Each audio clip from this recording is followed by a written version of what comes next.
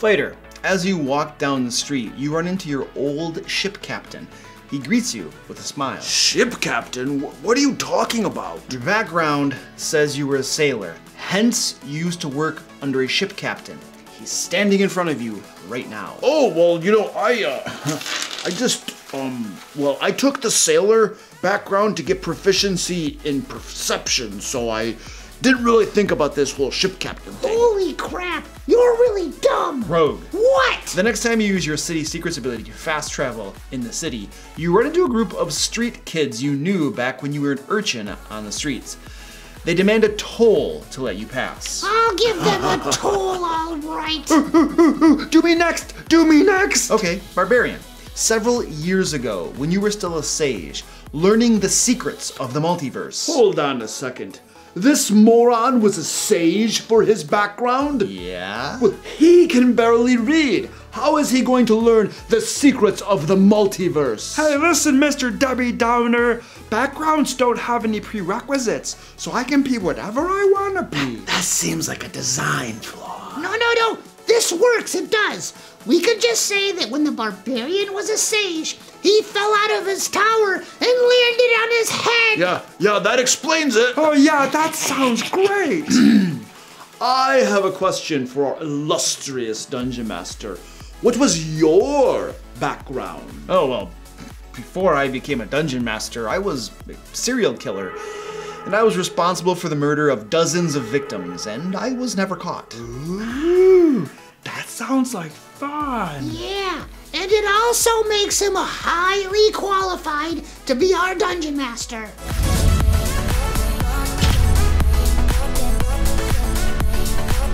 Welcome to the DM Lair. I'm Luke Hart, and I've been a dungeon master since high school.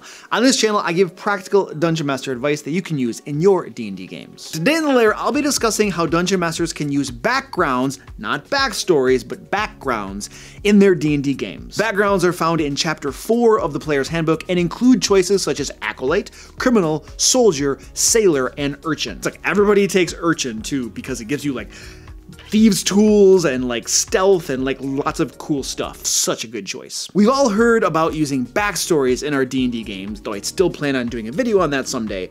But how to use backgrounds isn't really talked about a whole lot, at least not that I've seen. So yeah, today we're gonna hit that. But real quick, I want to remind you that you can find tons of free D&D resources over on my site, thedmlair.com.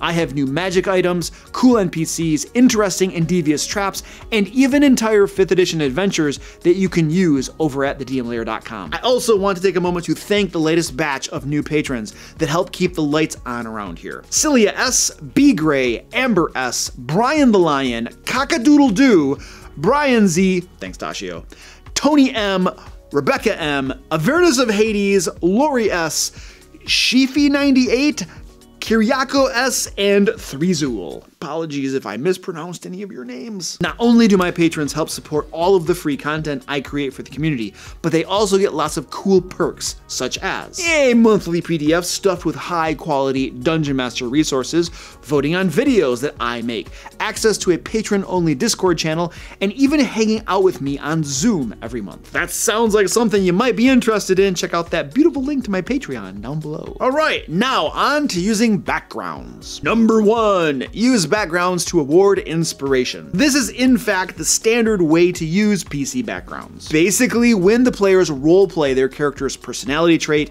ideal, bond, or flaw, the Dungeon Master awards them with inspiration. For instance, a character who is a folk hero has the trait, I misuse long words in an attempt to sound smarter.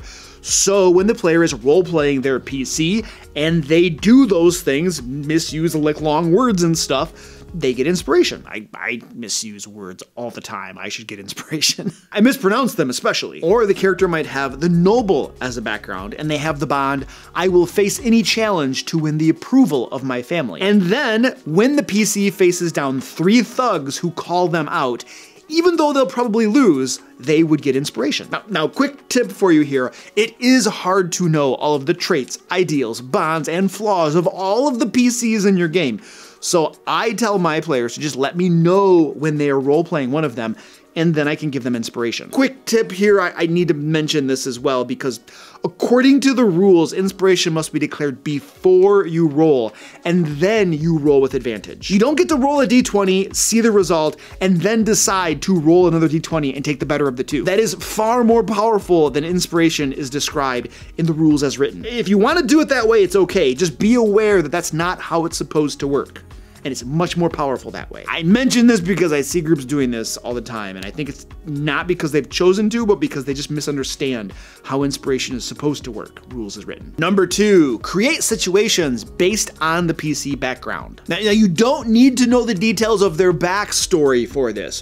What we're doing here is creating these situations based on the high level information of the background itself. And this is gonna come in very, very handy when you have players who don't write backstories who don't go to the effort of that, or, or what they do right just isn't very useful. If you know what their background is, you can still do something with that. Now, these situations that you write out based on their background might be bad, others might be neutral, and some of them might be good. And I'm gonna give you a bunch of examples here to give you an idea of what I'm talking about. Let's pretend your character has the entertainer background. We could say that there is, for instance, a jealous bard who wants to end competition, and thus you create a rival entertainer that that character might run into from time to time. Or you might have a wealthy customer who complains complains to the innkeeper whose inn the entertainer is playing at, because you know they always want to like play at an inn, get free room and board and that sort of thing. And then the innkeeper kicks you out and tells the other innkeepers not to employ you, the entertainer that is. Or let's say that your player's character is a folk hero. We could say that somebody from the PC's home village always resented them. They raised up a following that hated the PC, and now they've come looking to take the PC down. Or we could say that tales of the character and their and their folk hero background have extended to the town that they are now in. And a few people in that town know the character or have heard of them at least, and they invite them to a few drinks. All right, let's say that your background was a guild artisan. The PC's reputation, good or ill, precedes them.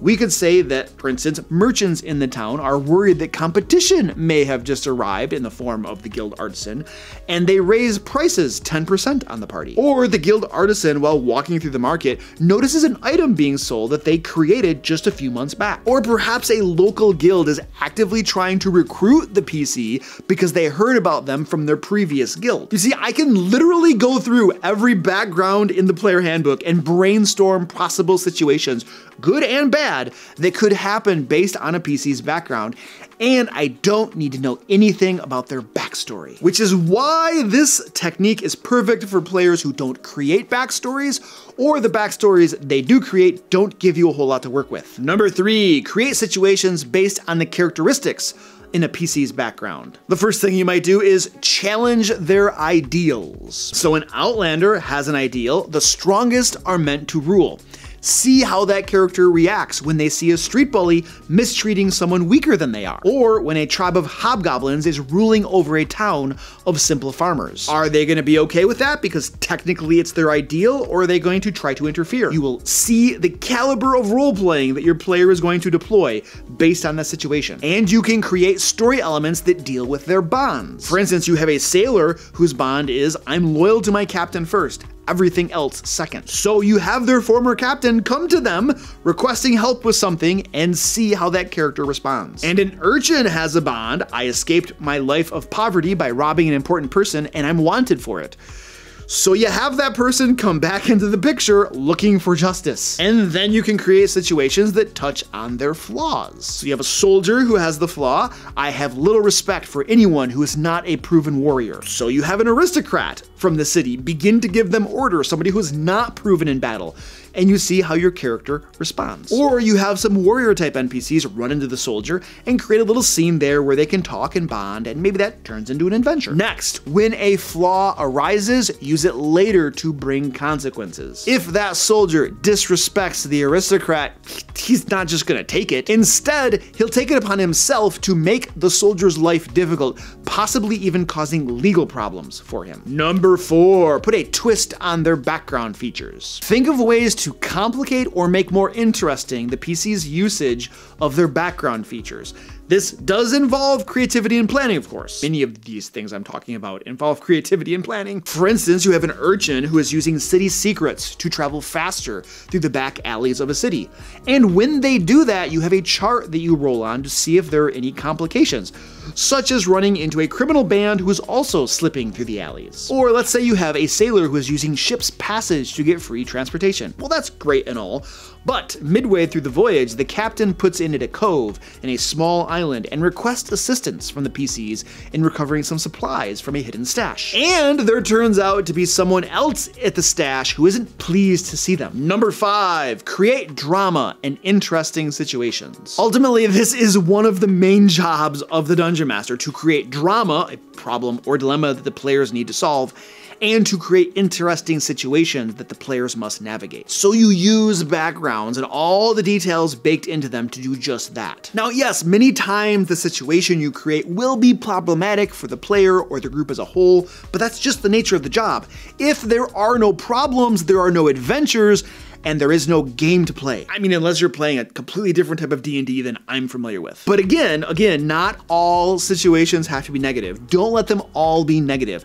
Some should just be a nod toward their backgrounds. Others should be positive and work in their benefit. Remember, if you'd like to get monthly Dungeon Master resources such as magic items, interesting NPCs, and entire D&D adventures that you can use for your groups, don't forget to check out my Patreon. This monthly PDF is just one of many benefits my patrons receive. Also, if you love nachos and would like to see me eat an entire plate of nachos in my next video while I speak, click that thumbs up button down below. Also, leave a comment for the algorithm so YouTube knows that I don't suck. Next week, I'll be telling you the story of my second TPK ever, hopefully while I eat nachos. But until then, click right here to learn about running D&D at higher levels. And until next time, let's play D&D.